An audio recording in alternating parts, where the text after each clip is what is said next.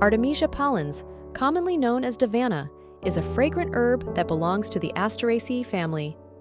Native to southern and eastern regions of India, Davana has been traditionally used in Ayurveda and other traditional medicine systems for its various potential health benefits. Healthy benefits of Artemisia, pallens, aromatherapy and relaxation, anti-inflammatory properties, antioxidant activity, skin care, menstrual health.